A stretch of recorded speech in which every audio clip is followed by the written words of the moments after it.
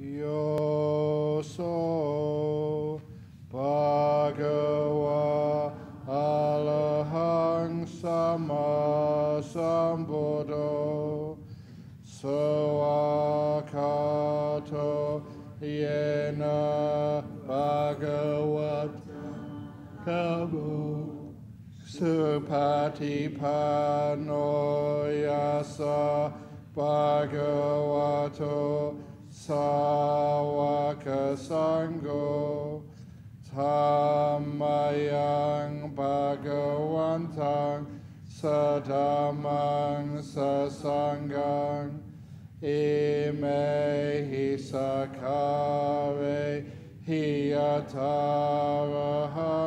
Hisakare Hiyatarahang Aropite Hiyabhipujayama Sadhuno Bante Bhagava Suchira Pariniputopi Pachima Janata Ime Sakare Dukata Panakala Pute Paganhatu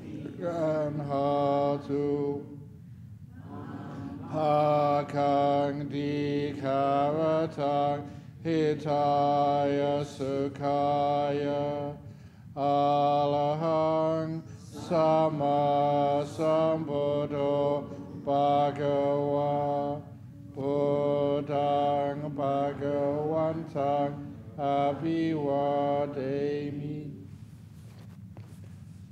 Suakato Bhagavata Dhammo Dhammam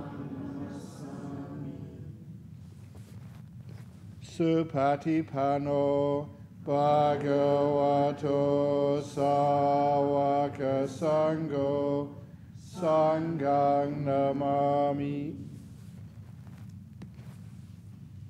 Namo Tassa Bhagavato Arahato Sama Sambuddhassa Namo Tassa Bhagavato Arahato Sama Sambuddhassa Namo Tassa Bhagavato Arahato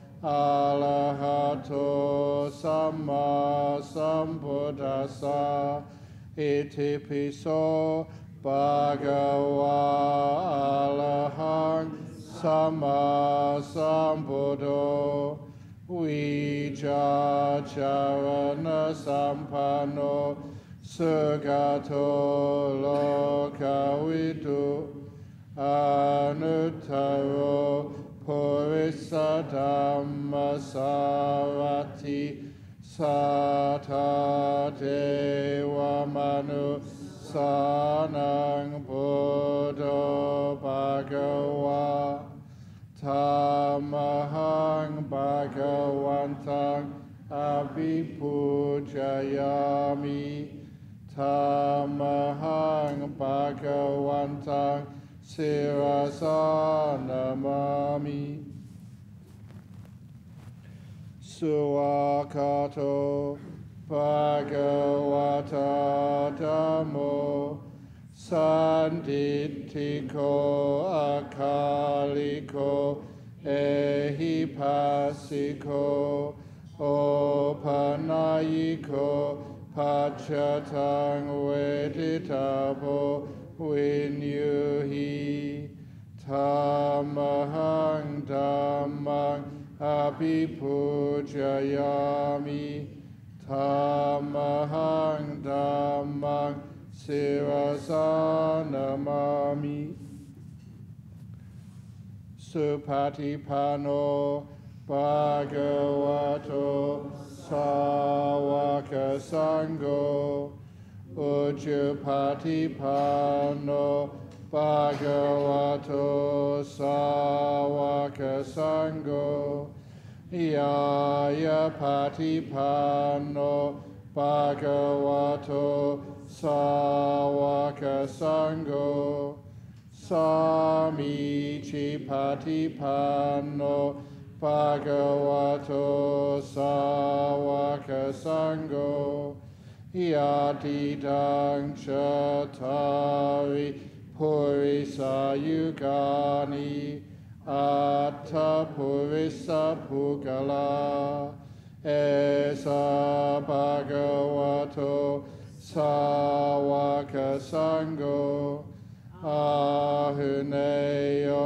Pahuneyo Dakineyo Anjali Karaniyo Anutarang Punya Ketang Lokasa Tamahang Sangang Abhipujayami Tamahang Sangang Sirasanamami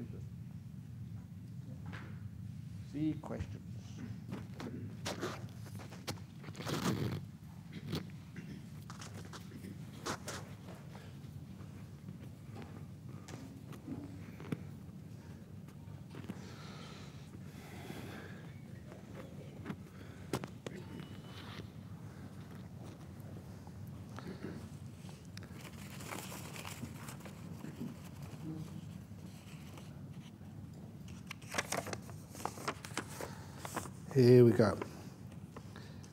Ajahn Brahm, have you seen anyone you believe was enlightened that was not a monk or nun?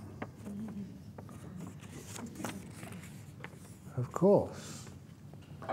Because that which is enlightened is not a person, it's not a body, it's not a girl or a boy. What gets enlightened is the mind. Is the mind a monk? Is the mind a nun? What do you reckon?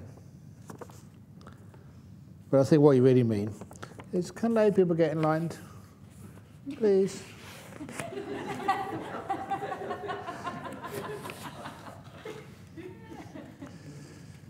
Because I have to sort of adjust some of the things which I say. I said the other day that, that there's no danger at all in just becoming enlightened. Actually, there is a danger.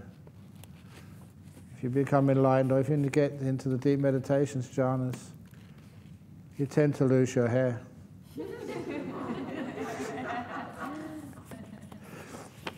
so I haven't seen any long-haired men or women.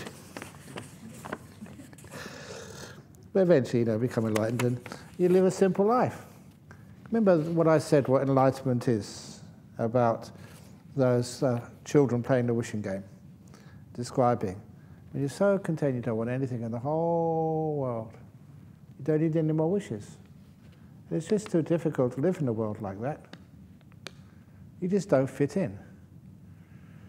Even just as a monk, I don't really fit in the world you fit into monasteries really comfortably because people expect the behavior. But uh, story I say behind this is a few years ago that, oh, not a few years, I think last year, that I decided that I'm old enough now to get the Commonwealth um, seniors card. Why not? I don't get any pension because I don't want any pension. But I thought, well, you can, why not? So I got on the computer and applied for a Commonwealth Seniors card. But then there was a problem. The problem was they, they said because of identity fraud, they, you couldn't just do it online, you had to go in. I don't know who would like to steal my identity. In fact, I'll give it away for free if you want it. Anyone want to be Ajahn Bob, you can come and sit here and give all the talk. But anyway, they said, no, you have to come in. So I made an appointment with the local centre care. It's called centre care, I think. It's the only time I've been in there, office. And I went in there, and uh, there was a lady who was doing the interview and said, um, can you uh, prove who you are? and I said, for 46 years as a monk, I've been trying to find an answer to that amazing question. I actually said that. and she wasn't, she wasn't impressed.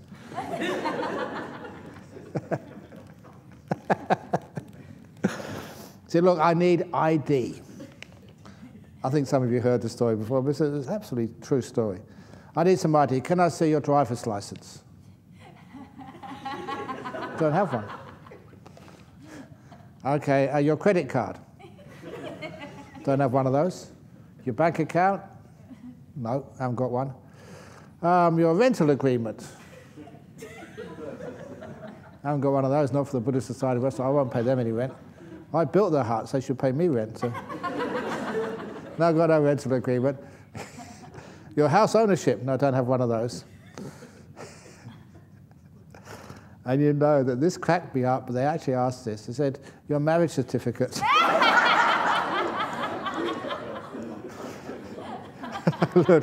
Come on, I'm a monk.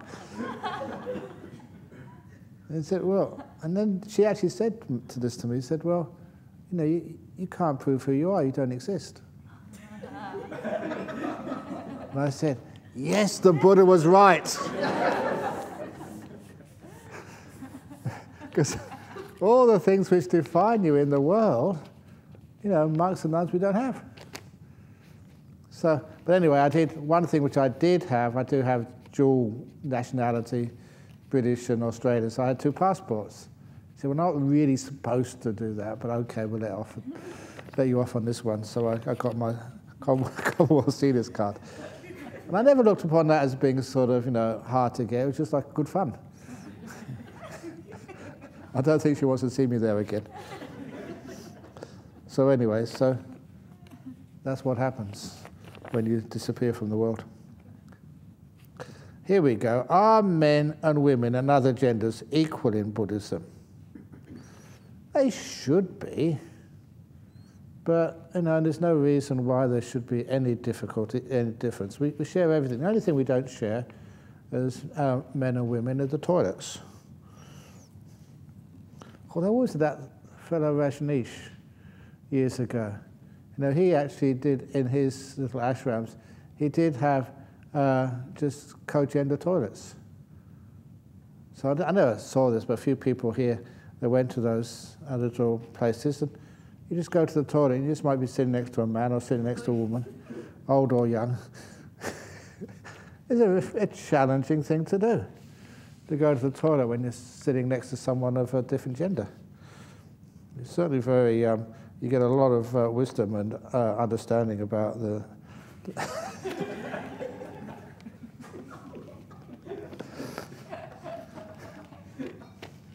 but yeah, so we try and make it as equal as possible. But of course, there's always more work to be done. So it's always work in progress, and you, know, you try your best to give it as, as much equality as possible. And uh, equal access to everything, but it takes a long time to do that. It's still the case when some people they invite you to their house, they've got a new house, and they usually invite the monks, not the nuns, or to give talks, or to give retreats. When was the last time a, uh, a Buddhist nun gave a nine-day retreat at Jhana Grove. Wasn't it just at Christmas, Edwin? That was only a weekend retreat. No, Ayatarika. Oh, Yeah. Oh, that, that was online though, wasn't it? Not really here.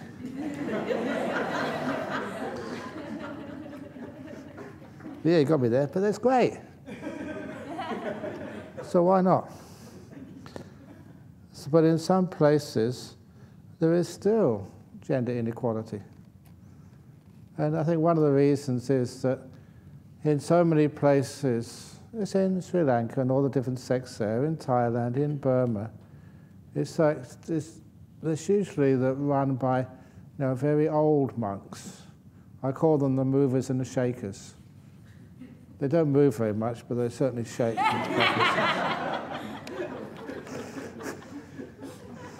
They're all very old. And when you get very old, sometimes you just get a little bit um, conservative. You just don't want any problems. That's one of the reasons why the Buddhism was. I mentioned this, and it's you know, it's very accurate to say that Buddhism is, uh, especially the sanghas, is the longest continuous um, democratic institution in our world. You know, our monasticism is democrat, democracy. I may be a really senior monk, But when we have meetings in Bodhinyana Monastery, it's just one monk, one vote. And I often get outvoted. And every time I get outvoted, I think, wow, what a wonderful system that it, this is. Just because you're the head monk doesn't mean that people do everything you say. The Sangha rules, and the Sangha is a local community. And that's one of the reasons why that, like even in Sri Lanka, they have this tradition of Mahanayakas, you know, like leaders. And well, it was once we were just, because we're having trouble trying to convince these Mahanayakas to, to um, respect the Bhikkhuni ordination. But as we were doing research, where did these Mahanayakas come from? I know where it came from. I'm partly to blame because it's my ancestors, the British Raj. Because the British, you know, when they were ruling Sri Lanka and India, they were pretty smart. They'd learned how to sort of rule. And they realized that so many people respected the, the Buddhist monks. So they had to somehow get some power over Buddhist monks. And how could these Westerners get power over Buddhist monks? It's easy. You appoint them as, you know, that you are the, the head nun and give you a, um, some sort of salary or give you some gifts and give you a nice little fan to prove that you're the, the uh, Mahanayaka. But then, if you misbehave, they take it away. So, and know, obviously the British were rich and they had their power. And so it gave uh, senior monks in some places status and also some income. And so it became quite popular to be a Mahanayaka. And that's actually where it came from. The British used that to get some influence over the Sangha. And so they could control sort of an important part of the Sri Lankan culture. So it's my, my ancestors' fault, I'm sorry. but of course, and that's not how Buddhism really was, especially not in the ancient days. In the ancient days, every monastery was independent of the other monasteries. A devolved democracy. And that's why there's never really was a head monk. The other thing which the Buddha did, which was famous, but very sort of uh, uh, influenced the, the growth of Buddhism in the world after the Buddha passed away, when people asked him, Are you going to die soon? Who's going to take over? Can you appoint a successor, a monk, to take over after you? And very famously, the Buddha said, There will be no successor. After I pass away, let my teachings, the Dhamma and the discipline, be your teacher from this point on. So, not a person, but our tradition of teaching and our um, discipline, our precepts, that became the teacher from that time on. Not a person. Because a person is always a bit vulnerable sometimes if they get too famous, too popular. Then, of course, that popularity, that power, you know, can corrupt them. But if the Dhamma and the Vinaya, that's the discipline, the training, if that is you know, the head, the boss, and that's what you have to follow all the time. So every monastery is individual and uh, is separate, and it runs according to democracy. Whatever monks or nuns reside in that monastery, you are the ones who run it. So that's why I, I cannot. Sometimes I'd like to to tell the nuns what to do. in a good way, but I can't because Dhammasara is run by you. And it always should be. And same as Bodhinyana Monastery is run by the monks of Bodhinyana Monastery, not by any other monks, as it always should be. It's not perfect, but it's much better than having an, an overarching leadership somewhere. So it's not just the monks and nuns, all the monks are equal in one monastery.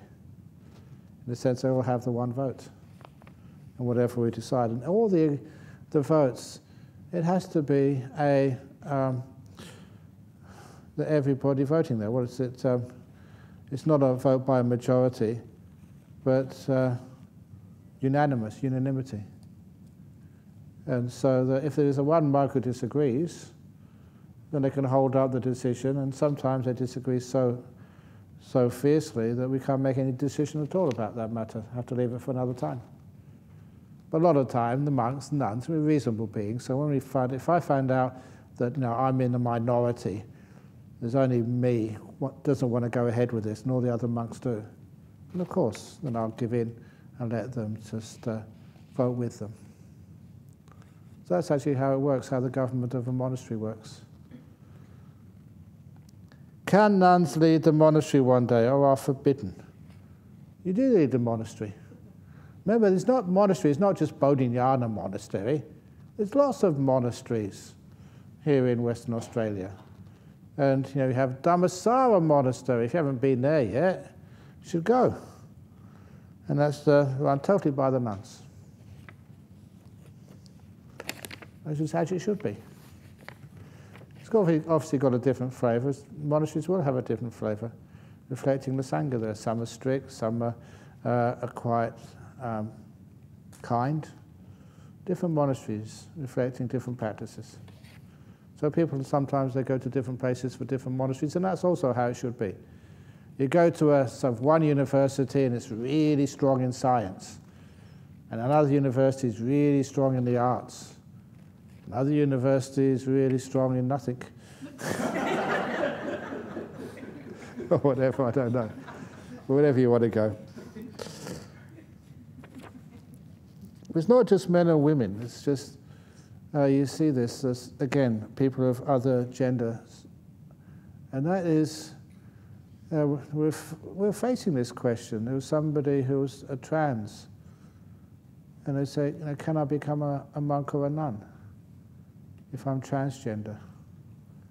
And it's, you know, it's, for someone like myself who has to make some choices, we also talk with the whole Sangha about it, it's a very interesting question. And basically, just you know, whatever they mostly look like, and if they're more male, then of course they go to Bodhinyana monastery. If they're more female, to Dhammasara monastery. But also just, can they fit in? Just like, you know, if a full male, if they will go to Bodhinyana monastery, can they fit in there? Can they get on with everybody without causing any difficulties or problems? And if they, that's one of the reasons why that all people, when they want to join a monastery, they come and they stay for at least a year, as what we call the anagarika, wearing white robes and keeping eight precepts for one year. It gives them a chance to test out whether they really want to stay and whether it's uh, the monks, whether they fit in with the monks there. So it's a way that they can find out if that's the place for them. And if they can, fine. You know, there was a time, this was so many years ago, over in Thailand that uh, if you were gay, you weren't allowed to become a monk officially. And I thought that's a bit rough.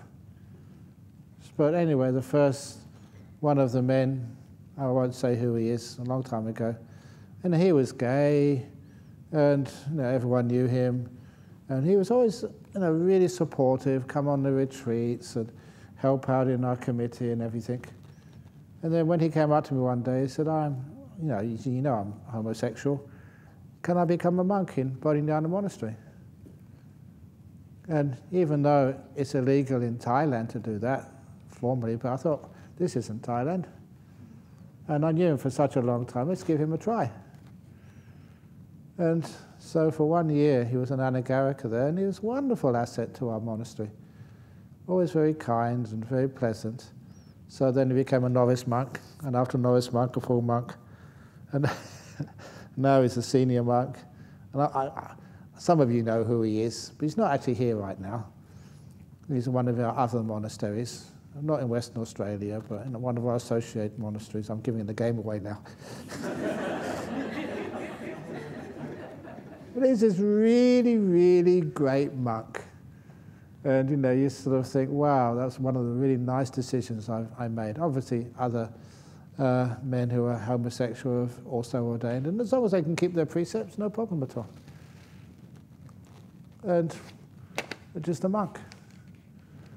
So I'm very happy that we have a system here that you can learn, you train, and just see if you fit in. And if you can fit in with the lifestyle, marvelous. Anyway, dear Ajahn, what does the Buddha say about intuition?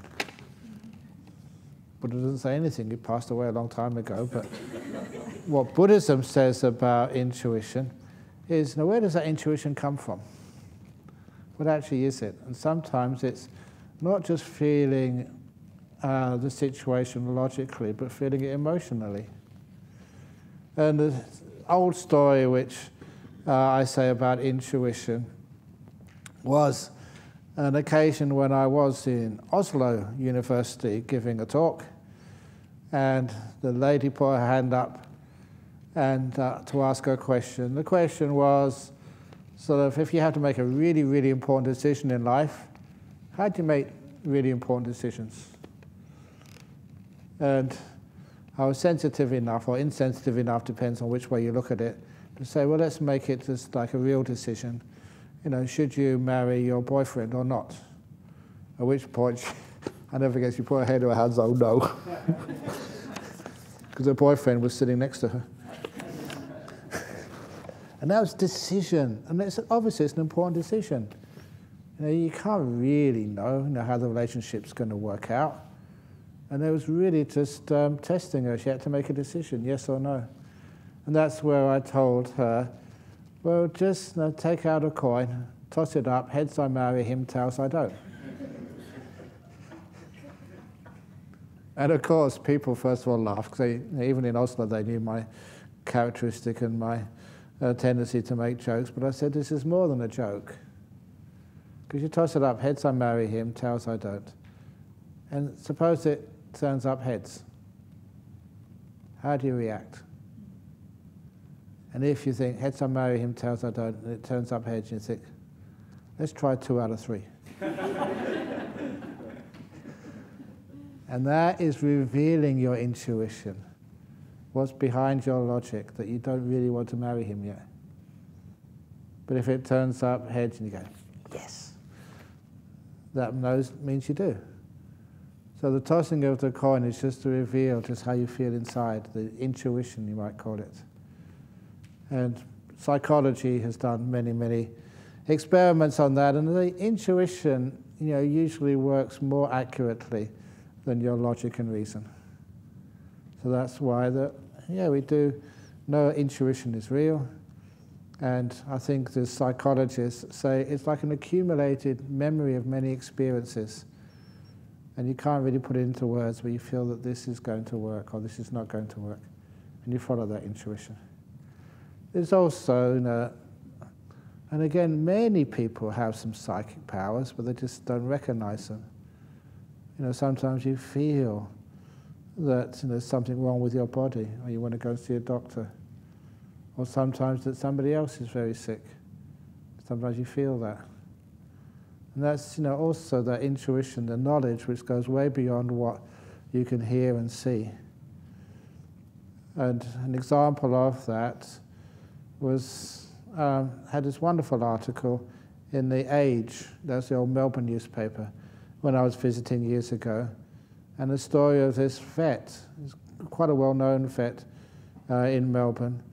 And he uh, uh, finished work on a Friday and going for a long weekend uh, with some friends. He was a single. A long weekend with some friends in a nice country house. He was driving in his car alone, and halfway on the journey, he just was overcome. He didn't know why by this emotional crying. And it was so uh, intense tears and sadness, he didn't understand why at all they had to stop the car in the emergency lane and park and wait for about 20, 30 minutes until this sadness parted and, and, until it stopped.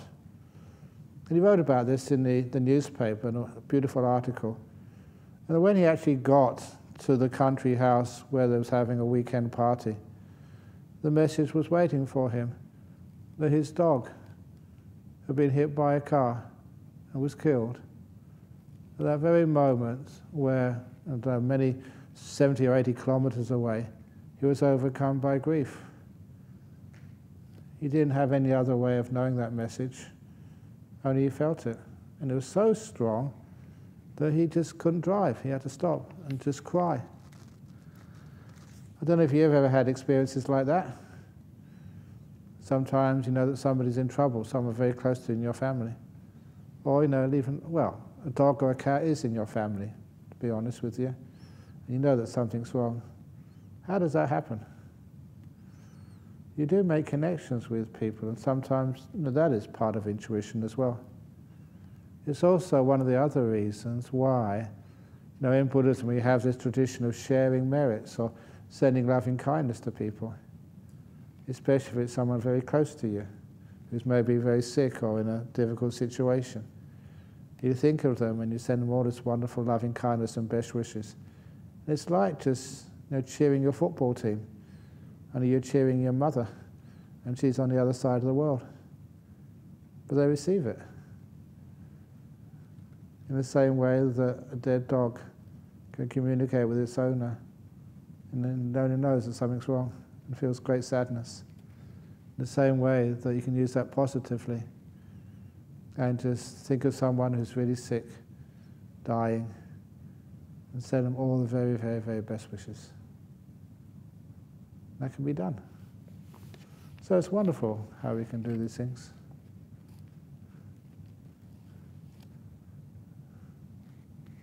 Yeah. I have a question about the coin toss, because I always used to do that until I became a nun, and you can't touch money anymore. Yeah. But you can get like I think a five cent piece, because that's um, you can't sort of cash five cents anymore. It's taken off. Um, is that right? Five cents? One cent or two cents. You get coins which have got no value. You can get one of those chocolate. Chocolate coins. Chocolate. Oh, okay, yeah, that's a good idea.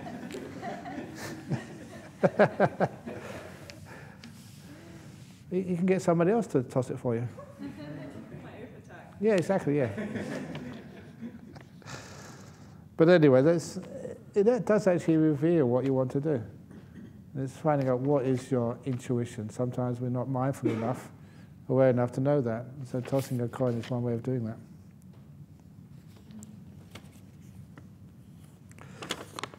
Yesterday you said that the positive way to look at the future is to look at it with hope. Isn't hope able to bring to deception, so deception to suffering, like a delusion? It can't be deceiving because the future hasn't happened yet. What hope does, it helps to create a positive future. You're looking at something positive which might happen, and there's more chance it will happen. And an example which just comes to mind, again, is just relationships. If you think that no, your, your partner doesn't love you, he doesn't really love me, sure he does love me, that's what you think, instead of hoping he does love you, then your whole attitude is just totally different. And there are some relationships where the guy is so afraid that his wife might leave him.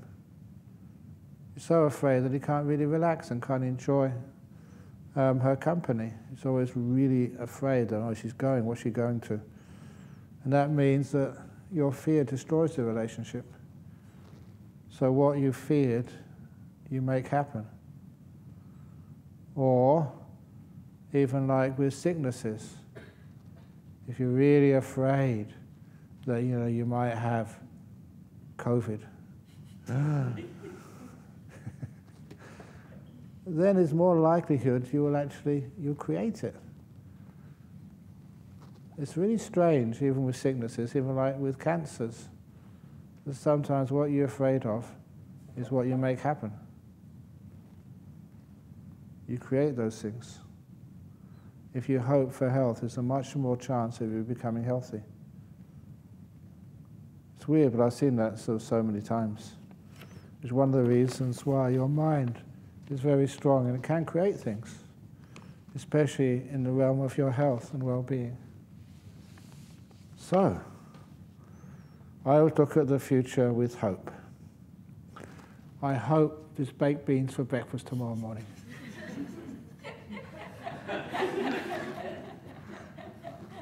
Is my breakfast man over there? and maybe there will be. Is that deception? Because I don't know. I never tell you what to, what to make for me in the morning, but we'll see what happens. So this is not really deception. Hope is looking at the future with a positive mind. Yeah, about baked beans. In a I didn't hear. Like, if you hope for something that involves another person, Yeah. um, what you hope for, they may not hope for. So is that like interfering? Oh, yeah. You're hoping to do with another person. What you hope for is not what they hope for. So you try, and if you're going to have some sort of hope, some aspirations for the future, something which is uh, more impersonal, then may you be well and happy. And, but it's also that's true. Some people don't want to be well and happy. So you've heard me say this to you. May you be well and happy if you want. you don't have to be. I'm not going to be a control freak. so the same with other people. Make it. May all people be at peace and free, and especially if you're visiting someone in hospital who's really sick. And sometimes, you know, you say, "Oh, may you get better." Maybe they don't want to get better. Maybe they want to make this their last uh, few days of life and pass away. You come in there and may you get better. That's one of the reasons why that when if you do go and, do go and visit people who are sick, the last thing you should ever say is, "How do you feel today?" I'm in hospital. How do you think? of course, you don't feel well. And as somebody pointed out to me that when people ask you that question when you're in hospital, how do you feel today? It's almost you do um, bend the truth a little bit to cheer them up, to cheer your visitors up. Well, I feel a little bit better today when you feel really awful. Because that person has you know, taken their time to come and visit you. And if you say, I feel terrible, of course that really disappoints that person, your visitor. So you're putting people in the spot when you go in there and say, How do you feel today? You say, Tell them the latest joke. What's the latest joke? Oh, yeah, there was that, that joke about the, the person who was so afraid of the future that he was a hypochondriac. No hypochondriac, whatever disease was in the newspapers, he thought he had it. So, you know, he went to see the doctor, and I really, really think I've got COVID. And they said, You haven't got COVID. But are, are you sure I need a test? So I gave him a test. No, free. You haven't got COVID at all. Came in the next day, thought he had diabetes. Gave him a test. No, perfectly healthy. Went in the next day, thought he had the plague. You haven't got anything. So the doctor was just so fed up with this guy and taking up so much time that he really laid it on this, this hypochondriac. You are a hypochondriac. You're fit, you're healthy, there's nothing wrong with you. Stop coming here. Instead of being like kind and soft, he really shouted at this hypochondriac. So this hypochondriac, he was shocked. You don't usually get that from a GP. He turned around and he walked out. He was stunned. Because he was stunned, he walked into, a, into the road and got hit by a truck and killed.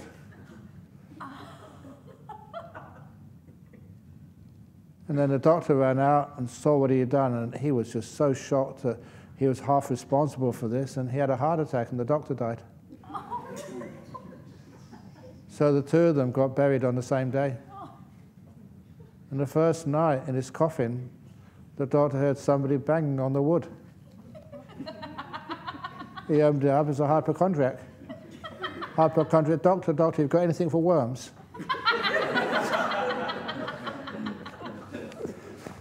So that's a silly joke. but anyway. What is this one? Oh, do we always see the white light when we die? Or is it based on our karma? Where does it take you? How do you go to it? If you see it, do you have to go straight to it, or can you say goodbye to friends and family first? Thank you.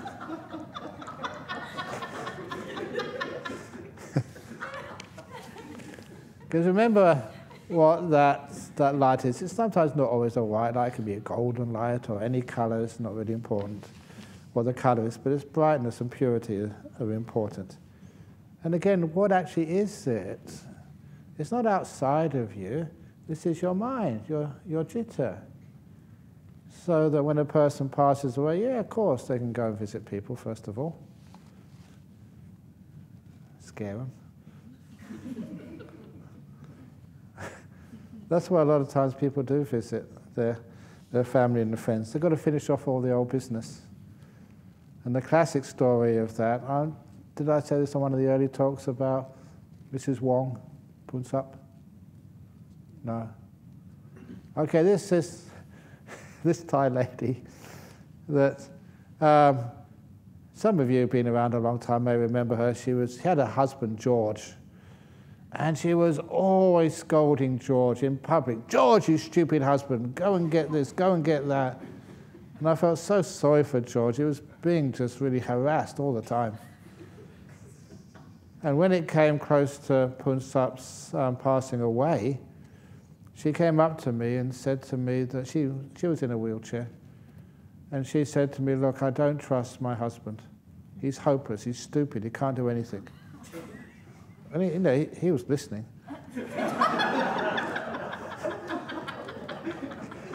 and that, uh, that I'm going to die soon, so I, I can't trust him to organize my funeral.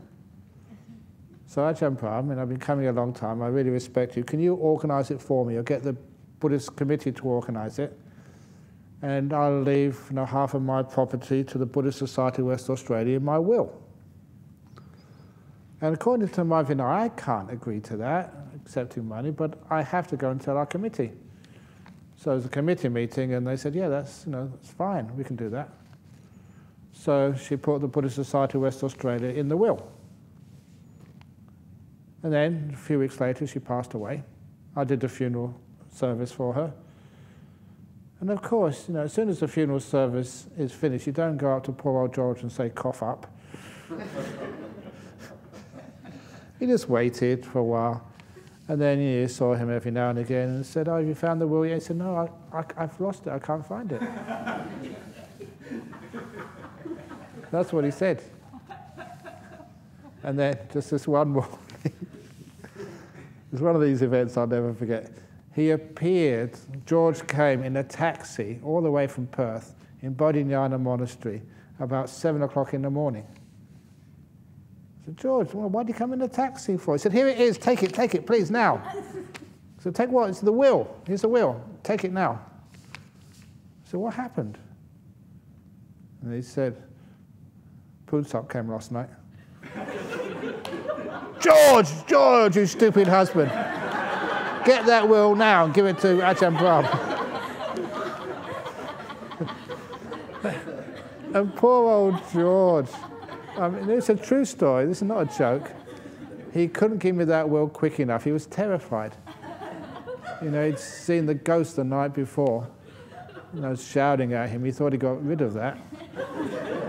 But she was on his case, and so he couldn't give, it didn't matter how much it cost for that taxi, he had to give me the will. so that's what happens, that's what ghosts do. They make sure that you, you behave after they pass away. That's the most extreme ghost story with wills and stuff, but it's true. But anyway, so after Punsap has done that sort of business, then if they want to, you know, the mind is there. If they know what it is, again, they can actually go towards that. So you know, it's just it's not sort of uh, an opportunity and then it sort of disappears. It's just your mind. And so as your five senses get get subdued, then that mind gets brighter, especially if you've been a good person. And you just allow yourself to go in. Ajahn, I only start to meditate and have seen some images in a couple of my meditations. One is a red crystal like lights, they come and go. The other is a good looking Indian boy who I've never seen before.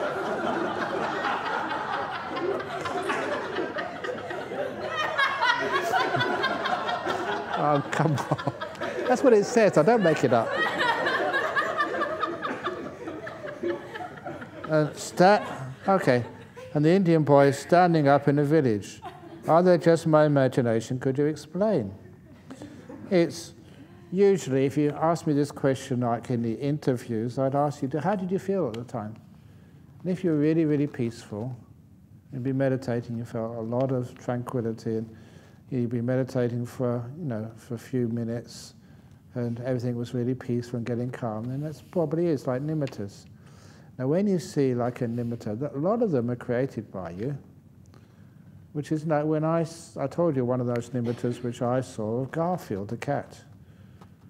But one of the other nimittas a long time ago, which I saw, I just meditating, got very peaceful, and I saw this image of a, of a demon.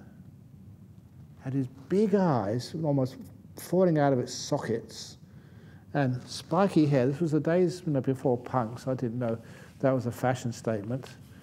And it had uh, spiky teeth and blood coming out of one of its teeth and a necklace of skulls and its tongue coming out going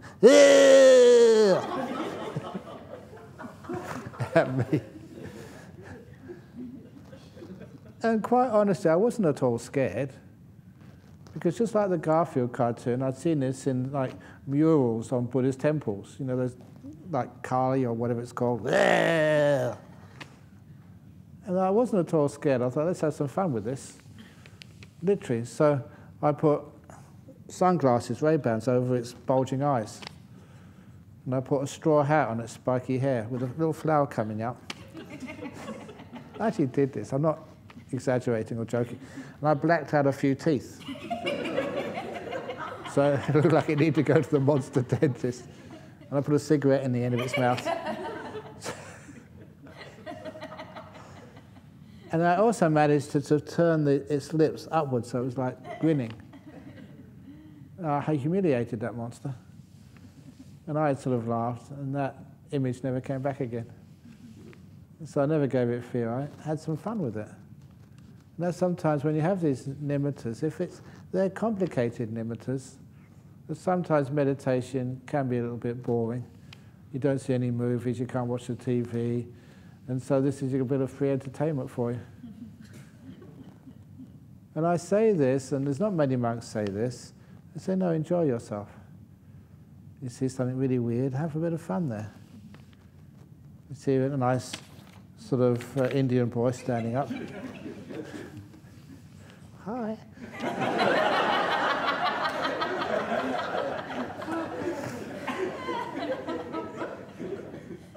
because that makes this Nimitta land of interesting and fun.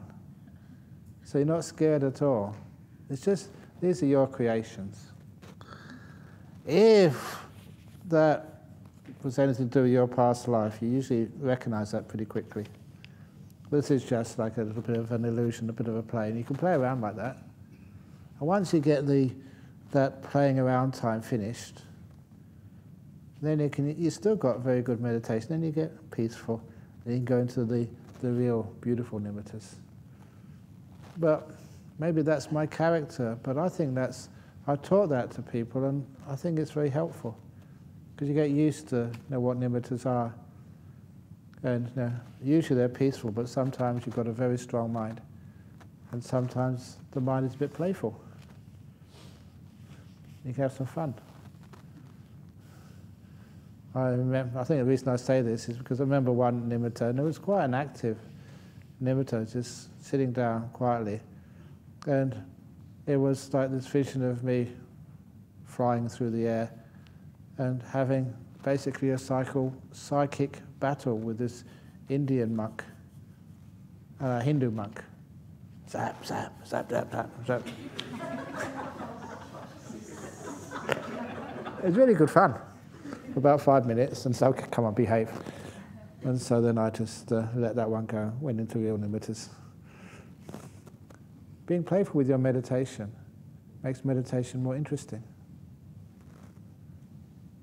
And you're not scared at all because you can, you can control this. In a sense, you can decide, let it go, I had enough. You're not afraid, you can take a monster and turn it into a clown. So it's the The red crystal-like lights are usually much better because that is more simple. So in the end, just incline towards the simple lights in the mind. The if you want a bit of fun, you could be meditating all day and you've seen those lights and you just want a bit of uh, R and R from the deep meditations. A little bit of fun. I don't know if I should say that, but I said it and um, I don't know why not. Ajahn, how can we sit down as a layperson without any wants? Temporarily. You're on retreat now, so you can sit down here not wanting anything in the whole world and just test what it's like. And you have a retreat, a rest from the world of wants, and it gives you this wonderful rest, and it gives you lots of insights and understanding of why do I want things? What I want, are they really helpful? How much do you want? A lot of the things which um, you know you get from not wanting very much is to see just how so many of these things you want in life are just created by our society, by watching the, the movies, you know, seeing the TV, the advertisements especially. They create many of your desires and wants, what's on the TV. And one of those things which you see on the TV is these big homes and houses. And I say that because I've been in some people's houses and they're huge. And the story was of going to this one person's house in, uh, it's on the River Shelley or something, because you know it was a, was, yeah, it was a Thai person, Thai Chinese, and they wanted to um, do a ceremony to bless their house. So I went in there, and as soon as I went in there, this is again no exaggeration, come from Serpentine, and so I needed to go to toilet. So where's the toilet? And she drew me a map. No exaggeration, because the house was so huge. So I turn left, turn right, over there, and over here, and over there. And afterwards, I asked her, how many people live in this huge mansion? She said, only me. When she said that, just a whole wave of sadness came in my body. I said, well, why don't you live with some of your friends? She said, I can't trust them. They'll ask me for money. What about your relations? The same. Always asking for loans or for something because I'm so wealthy. I'm even afraid of you, Ajahn Bob. You may ask me for a donation for the Buddhist Society. and I thought that in this huge home, it was like her prison separating herself from all the people who could care for her and who she could care for. I don't know why people do that by these huge mansions. And the counter story to that was a lady who won the, the UK lottery some years ago. How much was it? About 40 million or something, sterling, pound sterling. And the first thing she did was, again, buy a mansion for her husband and two kids in Sussex, this big fancy mansion, and she sold it one year later at a loss and bought a small terrace house somewhere. And because it was really weird, why, when you got a mansion, would you want to sell it at a loss and buy a tiny house? And she said because she was losing her family. You know, she was in one part of the house, and the house was so big, the husband was somewhere else in the house. And the kids, one was in one part of the house, the other kid was in another part of the house. The house was so huge, she hardly ever saw her children or her husband. And it was actually killing the family. So she got a very tiny house where they can't escape from one another, seeing each other all the time. He said, haven't got much space, but we've got love now. And I always remember that, just myself growing up with my brother in a small room, and just well, whole, whole life shared a room together. He became a banker, I became a monk. Total opposite ends of the spectrum. But you know, we love each other and care for one another. As many of you have seen when he came here years ago for my, one of my birthdays. And it's just because we had to learn how to get together and learn how to live together in peace and harmony. Simply because there was no place to run away to.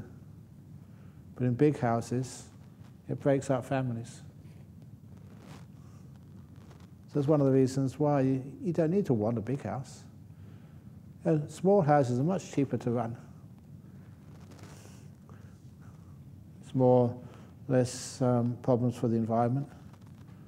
And you know, I live by what I teach. You see my small house, my cave. So that's one of the reasons why that even a layperson, we don't need that much. And you can. Tiny houses now are, are much more popular. So I always encourage people to have tiny houses or apartments, flats. And these days, people have apartments. They're great apartments.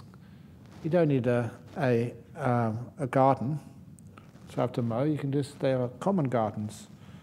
You don't even need to have a kitchen anymore. You can go downstairs and go to the, the shops for breakfast and for lunch and for dinner. And they do all the washing up for you. you don't have to cook. Interesting lifestyle. So, anyway, keep it simple. Okay, how can we sit down as a layperson without any wants? Easy. Maybe. Our daily conducts are full of wanting to obtain either in an object or a person. How can we make peace with the delusions we have not fully understood? It's find out what you want in life. What do you really, really, really, really want? Even like sometimes when people get to the towards the end of their life, that sometimes they have these bucket lists. And have you got a bucket list? What you want to do before you pass away? The first item on the bucket list should be not to have bucket lists. do you want to see the Great Wall of China? Well, go and see the wall of Bodhinyana Monastery. Same thing, it's just a wall. Niagara Falls? Go in the shower and turn the shower on. What's the difference?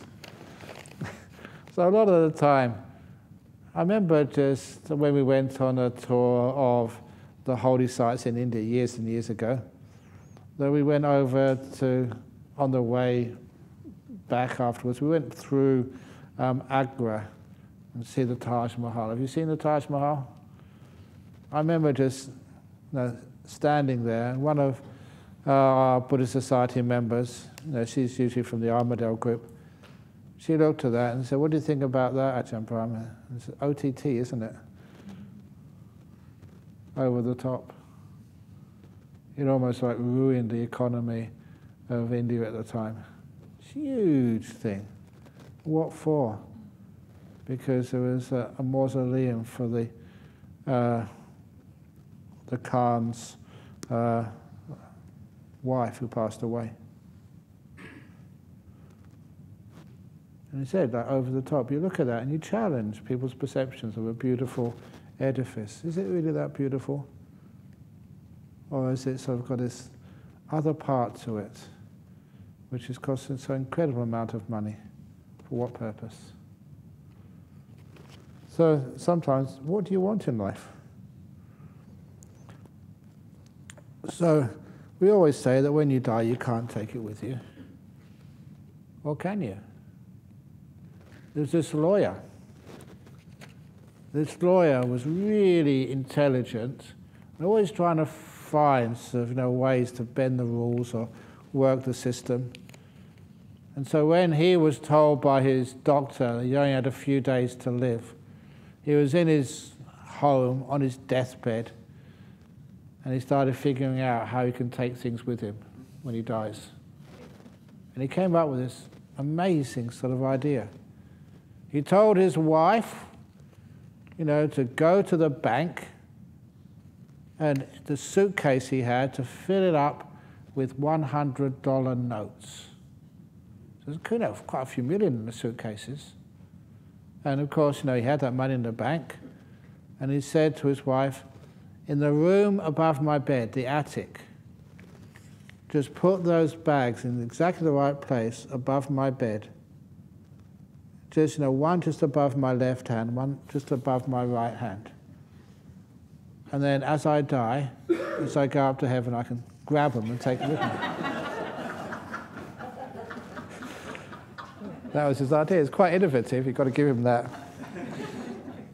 So the, the wife, you know, wasted time arguing with this guy. He was a lawyer. And so she did that, and a couple of days later he died. And, uh, you know, she did a funeral for him and everything. And then even after, after the funeral, then she checked up to see if those uh, suitcases were still there. And of course they were still there. Of course they were still there. And as she told his stupid husband, he should, put them, he should have put them in the room underneath his bed. I knew which way he was going. so, what do you want? How do we overcome severe fault finding mind during meditation? Ah, thank you. Yeah, the fault finding mind. Sometimes that's a habit in, in us. And that fault finding mind is trained into us and it causes so much trouble in life. And you can look at this place. Have you done any fault finding for Jhana Grove yet? Is too hard. We should have uh, better cushions to sit on. And cushions with remote controls. So I can actually press one side, and then if I've got a sore knee, it can actually just come up this way. and, and if I want to sort of uh, raise my back, I, it comes up in the back. And if I'm too hot, I can uh, lower the temperature so it goes cooler. And if I need a, I've got sloth and torpor, I can press another button and get a cup of tea. Because there's a lot of people meditate these days, and the cushions are the same we've had for centuries. And just, you know, sort of something inside the sort of a round blob. Can't we have high-tech cushions? and sometimes fault finding does that. It wastes a lot of time. But in the end, instead of having fault finding, we're in a meditation, we just have a wonderful sense of appreciation. Fault finding is looking at the two bad bricks in the wall. We're just um, harming ourselves because you can't change the wall right now. But when you see the beautiful bricks in the wall, yeah, the cushion can be more comfortable, but it's not bad. And yeah, you know, we, we don't get breakfast in bed. Not even I get that. I'm the teacher. Did you get breakfast in bed on your birthday the other day? No, that's a fault. but it's not bad. It's, it's good enough. It's simple. There's so many beautiful things in this retreat center. There's no need to find fault. And of course, the other thing with fault finding, it's become almost just the way we look at our world and the way we look at ourselves. And I've said this to quite a few people on the interviews, and I've said it many times in my public talks. But the story is if you are a fault finder, then see if you can find any tree in this forest which has no faults in it. Find a perfect tree which is dead straight, with all the branches equally spaced, with all the twigs nicely spaced, and all the leaves nice and green, and a bark which has got no damage on it. There is no such tree in the forest here, nor in Bodhinyana Monastery. Every tree is bent, twisted, damaged, and many of those branches have fallen off, leaving holes in those trees. And I love those trees. The more crooked and twisted they are, the more beautiful they are. They're not perfect, but they're beautiful. And you learn from trying to find a perfect tree and noticing the difference between a perfect tree and a beautiful tree. That we're all, as I say, damaged goods. Some more than others. but if you are damaged goods, you belong, first of all, like all the trees in this forest. And the most damaged goods, the most damaged trees, are usually the most beautiful. They're the ones you like to sit under or have your photograph taken next to. Straight trees, they don't really cut it. So anyway, that's why fault finding, you change your idea of fault finding. If you do look for faults, that's looking for beauty.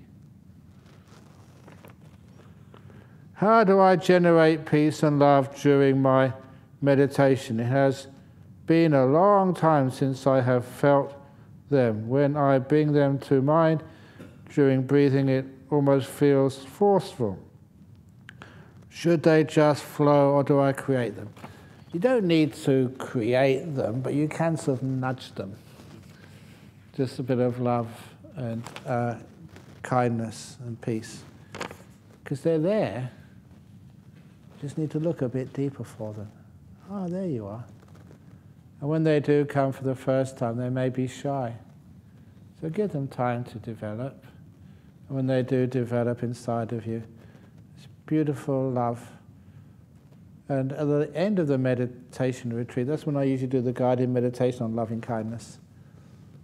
And it's very powerful because it works. And you feel this incredible sense of joy and happiness and love for all beings, but especially for yourself.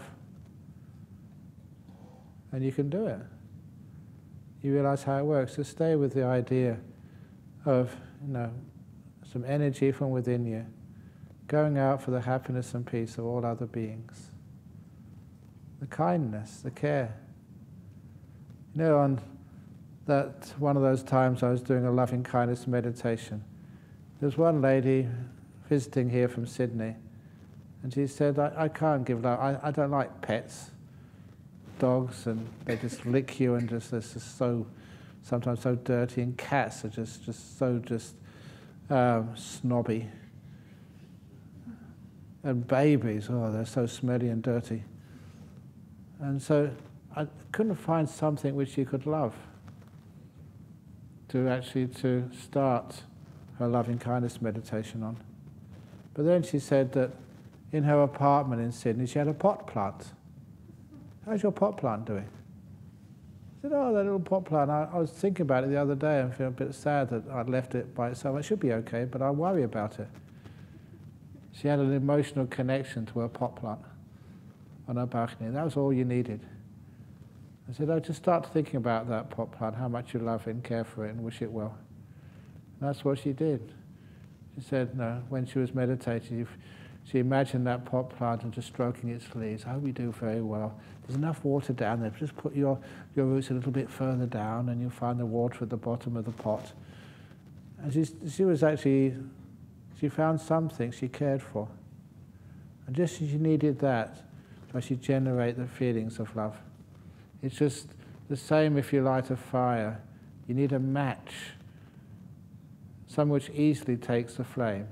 And from there you can light something else like paper, and then paper kindling, and kindling bigger bits of wood, and then bigger bits of wood uh, like logs, and then logs.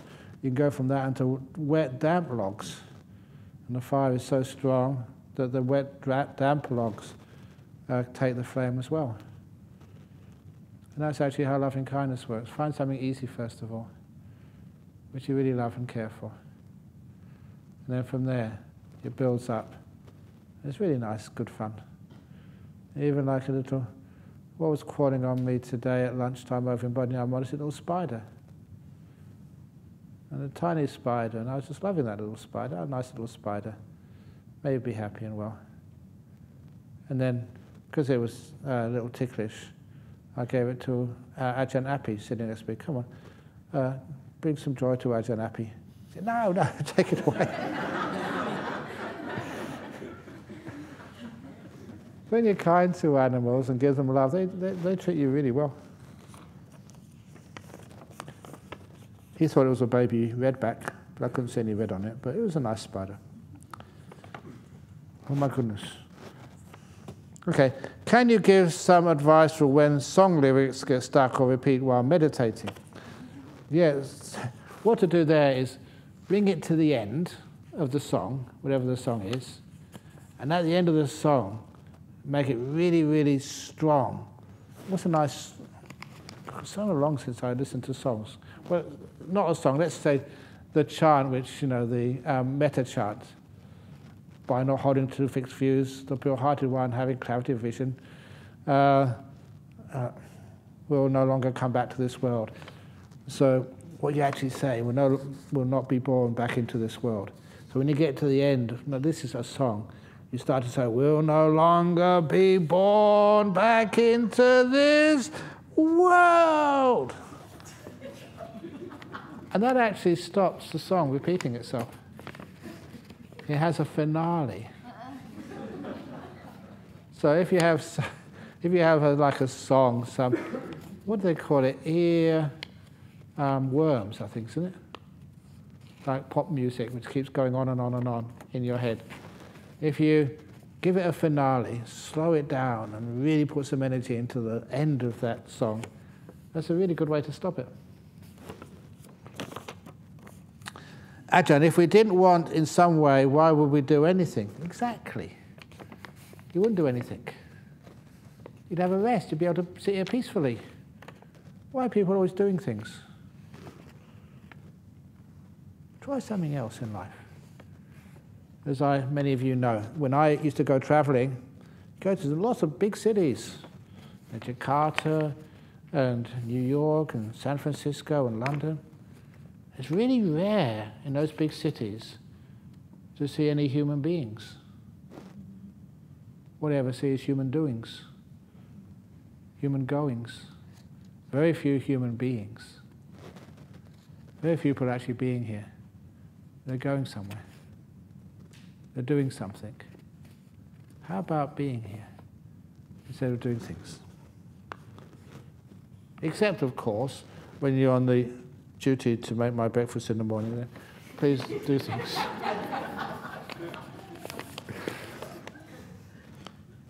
so, does wanting something motivate us to do wanting shelter, food, safety?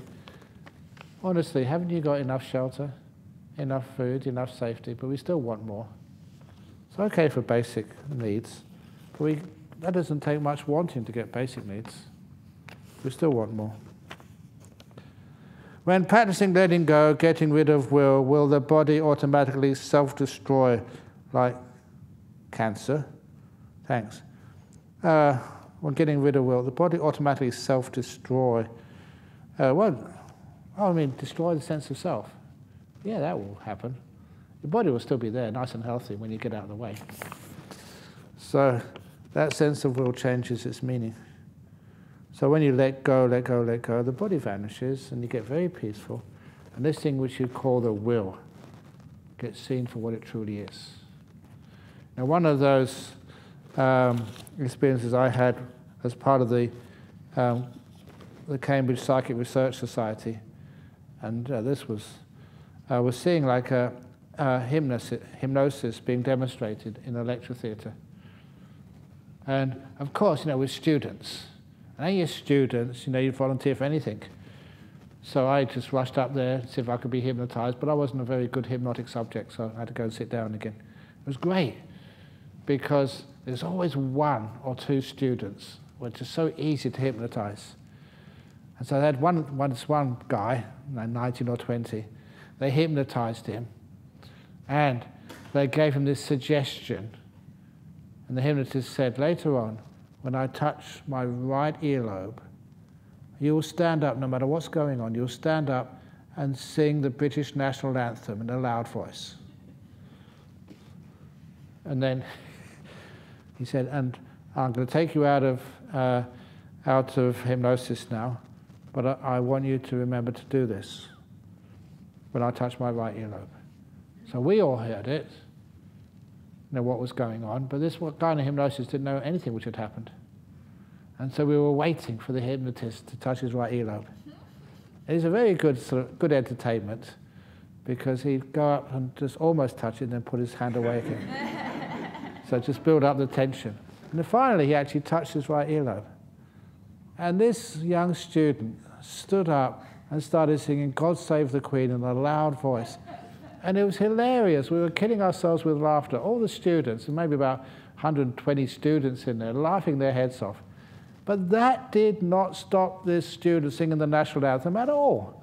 He was really going for it. He sang it right from the beginning to the end. And, you know, we're just almost wetting our pants listening to this guy. and at the end, the hypnotist, the lecturer, told us to be quiet.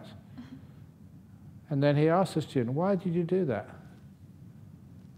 And then the student gave this really good reason for singing the national anthem.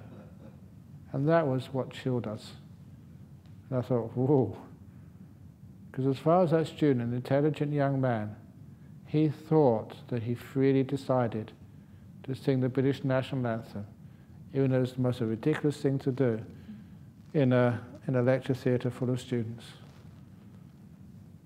But he thought it was his free will. We all knew it was conditioned into him by hypnotists. And that really was a scary piece of evidence. All the other things which you do. Did you really decide to do that? Or was it conditioned into you? That's scary. Is it possible to still achieve deep meditation sitting in a chair compared to sitting in the lotus position or on a meditation bench? Yes. How you're sitting, as long as you are comfortable. So it can be in a chair, can be in a bed, any posture is okay. And I've said this story again so many times that when I had typhus fever in Thailand, and in hospital about four weeks, and you know, felt really, really weak, very tired. No one knew what was going on, what the sickness was, because apparently there was no typhus fever, according to the health department in that part of Thailand. And the reason was because all the locals had got immunity.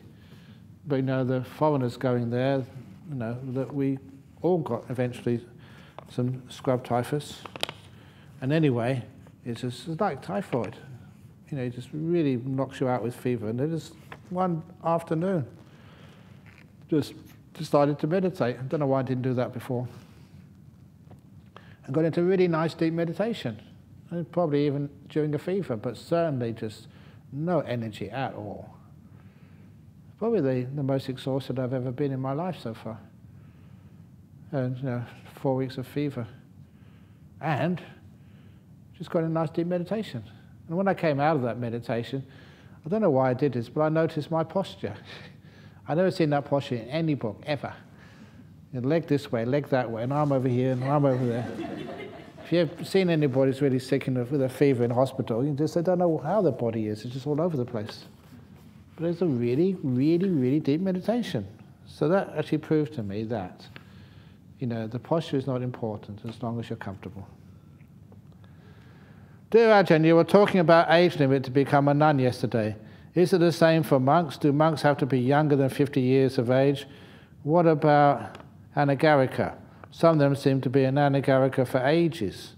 Thank you, great teacher. and it's and it's true that even in the Ajahn Chah, he had this one anagarika who was blind. He became the doorkeeper of Wat Pong, the gatekeeper.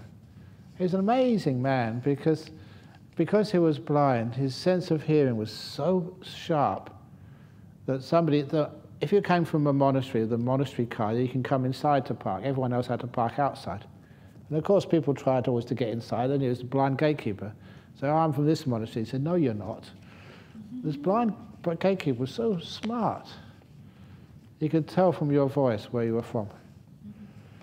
And so he was blind. He stayed there for a long time. Ajahn Chah would make sure he got well fed.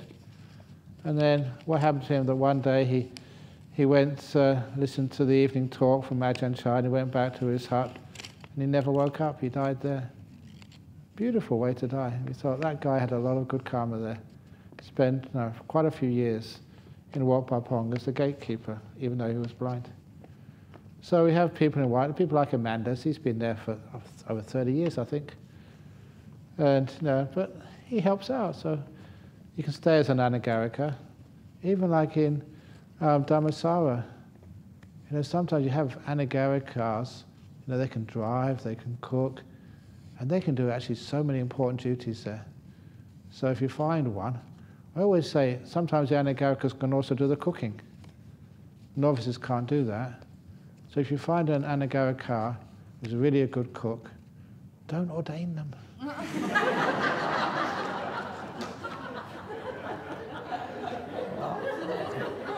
I have lost so many. Good, you know that that monk Mutito. You know he's one of our builders. You know, from Norway, uh, not from Norway, from uh, Finland. I only found out he never told me. He's, very smart. He never told me when he's an anagarika that he was a chef and he was working in a five star restaurant over in the Ritz Carlton or something in New York. Why did I ordain him? Stupid.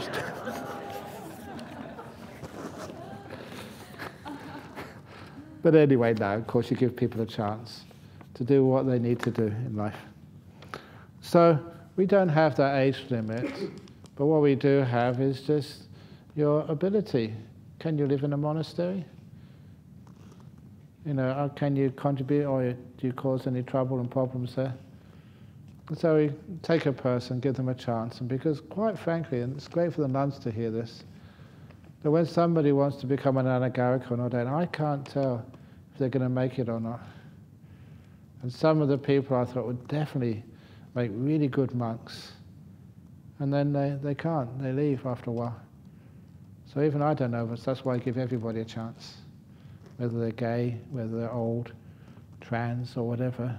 Give them a chance and see if they fit in. If they do, fine. And of course, the reason for that age limit is because, again, the younger nuns have to look after you when you get very sick and old.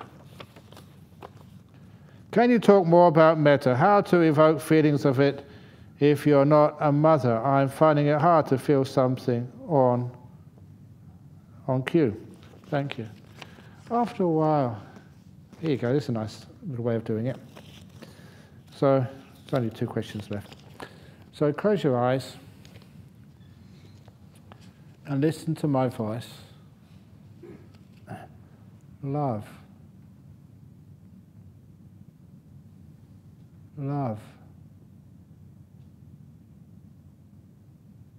Kindness. Kindness.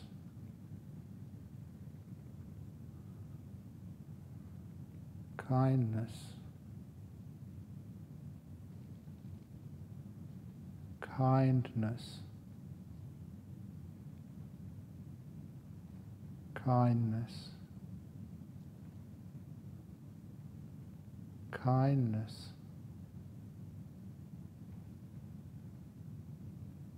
kindness.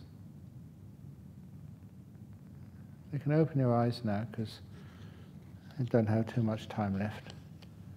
But hopefully you experience that after I said the word, there was a space. And that allowed the mind to actually be directed in a direction of what kindness is. I repeated it again, again to give the mind a push over there, kindness. And you repeat it to yourself enough times, kindness, kindness. Then you start to feel it. It is like a signpost. And after a while, you don't need the signpost anymore because you're looking directly at what kindness is to you. And something like kindness is a very beautiful thing. By its very in nature, it's very attractive. And once you have it in front of you, you don't need the words anymore. The kindness will keep you looking at it and enjoying it. There's many words you can repeat like that. And again, I started off with love, but then love is sometimes many, many things. Like, you know, you love your, your breakfast or, you know, you love this um, uh, show on TV or something. But kindness is a bit more specific, more, more soft. So just mentioning kindness to yourself, it just evoke that feeling. And after a while, it's like you have kindness here. So that's one skillful means to evoke the kindness. Ajahn, as a young monk, did you manage to give 100% mindfulness to one of these long all-night Ajahn Chah talks? If so, what's your secret to arouse such mindfulness in such seemingly repetitive, boring situations? It's sometimes Ajahn Chah did give um, talks all night, but know, I don't think I ever actually did an all-night talk with Ajahn Chah. Many hours, but not all night. And, uh, but the all-night meditation sits, I always thought that was a bit artificial because you had to sit. But then sometimes you really got some really nice meditations and you're there for hours and just having a wonderful time. The only way to do that is to let go. To let go so deeply, so fully. You can't feel the body. You don't know what's going on because you're inside. But the story, which I think this relates to, was the story of the little novice monk when Ajahn Chah was giving an all-night talk. He didn't know it was going to be an all. Ajahn Chah could finish at any time, but he didn't know. But anyway, this little novice was listening to Ajahn Chah's talk, you know, boring one. And after about an hour, the little novice thought, when is Ajahn Chah going to stop? When is he going to stop? You know, he was just a little novice, maybe 11, 12 years of age. The big monks, they could stay up all night, but little novices needed their rest. And so, when is he going to stop? When is he going to stop? When is he going to stop? He kept repeating this to himself over and over and over again. When's he going to stop? When's he going to stop? And then the little novice had an insight. An insight is sometimes just turning what you're saying around, putting, turning in another direction. And the little novice said to himself only once, When am I going to stop? And that little novice stopped. And that little novice, he opened his eyes quite a few hours afterwards. The monks had already gone out on alms round. He's sitting in the hall. All the monks had bowed and left and making noises, and the last chanting. And he'd had the most wonderful meditation of his life. He stopped. And I love that story because there he was, a little novice, a lot of negativity. You know, oh, I don't like this. When's Ajahn Chah? So when's he going to stop? And then the, novice stopped. And he got in the, one of the jhanas. Beautiful story. And of course, the little novice couldn't hear anything. Five senses had stopped. And his mind was just incredibly bright. You know, the little novice, 11 or 12 year old, missing alms round meant you missed your meal that day. Nothing in the afternoon or evening. And you know, young people, they really need their food. But he wasn't at all concerned. Just so happy and blissed out. Okay, the last question. Dear Ajahn, regarding past life, you told yesterday, I'm very curious to find out about mine. When will I know this? Is it possible for everyone? Shall I tell you my past life? In my past life, I was Peter Betts, a student at Cambridge. now I'm a monk, different life. That's just telling a bit of jokes. But I'm obsessed now with early life memories and past life. Can't stop thinking, but I can't remember. Thank you for your teachings. Look, if it, what's the purpose of remembering your past lives or the purpose of remembering your early lives? Sometimes it's just to show these things are possible. But don't obsess about it because if you need to, if you want the ability to do this, you know, from your own meditation, you need quite peaceful meditations. So still meditations. So instead, just meditate nice and peacefully. Have a good rest tonight. You know, have enough sort of exercise and uh, water and food so your body is really healthy. And you get up in the morning and meditate and even say to yourself, stop. See if you can hold that peace. Just like the, the donkey stopped and a carrot came right into the donkey's mouth. If you get a deep meditation, you can feel it's a deep meditation. It's so still and so peaceful and joyful. Then you ask yourself, what is my earliest memory? And see if it comes up. And if your mind is peaceful, it will come up. You don't know maybe what your previous life was, but you know you've lived as a young baby. You're in your mother's womb. Sometimes people get in the mother's womb memories as well. And you can actually feel all of those, and they're really real. You get one, and the other ones are pretty easy to get afterwards. And it happens. Yes, it's amazing. You need the deep meditation first of all. So if you try it with just an ordinary meditation, you're wasting your time. So just get the peaceful meditations. Relax to the max and don't want anything in the whole world. And then you'll just remember just the instructions, what's my earliest memory? And who knows? But don't worry, because if you don't believe in reincarnation in this life, you will in your next.